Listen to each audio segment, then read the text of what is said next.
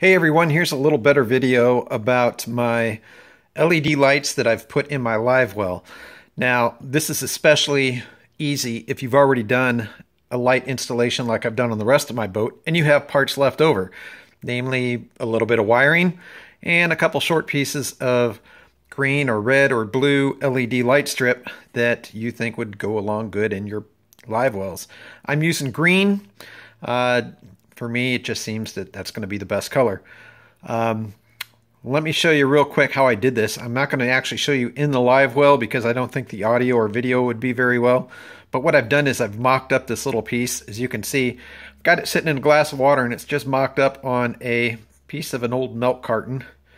And it's been in the water for a little over a week. And as you can tell, it still works just fine. So let me show you how I've done this. I'm going to take this and shake the water off of it here.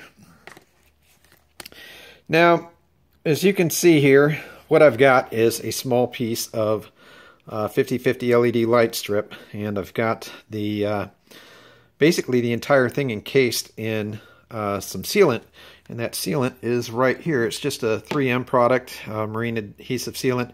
There's a couple different versions of this. Um, the 5200, I believe, takes about four or five days to cure completely.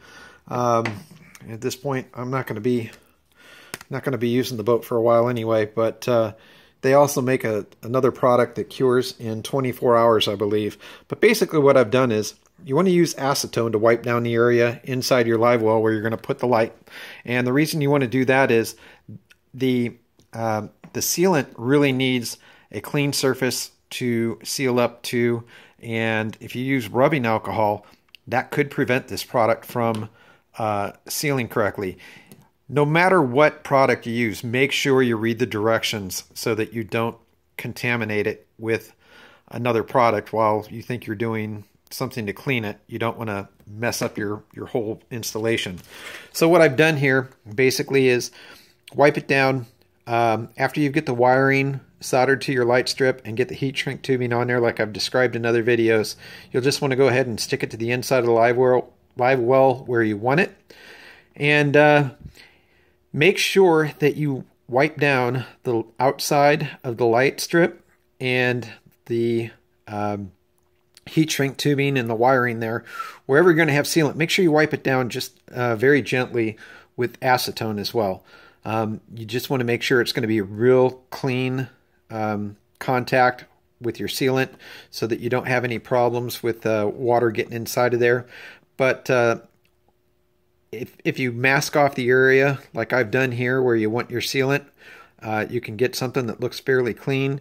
Um, another trick is to mask off the very front edge of your LED light strip so that you don't get any sealant over the top of the lights.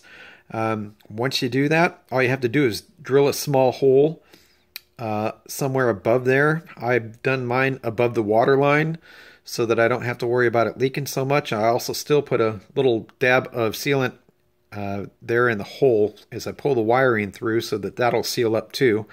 Um, the other thing to think about though is if you have a hairline crack in your live well, you may want to avoid at all cost using a big hole saw to put a hole in there like you know if you want to install some of the other lights that are out there on the market uh, the reason is is if that hole saw gets jammed up in there as you're going through, it can cause a lot of damage and it probably cost a lot of money to fix that.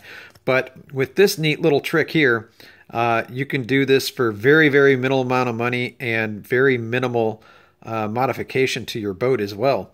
So um, remember, subscribe, leave a comment, let me know what you think, and uh, tight lines and happy boating.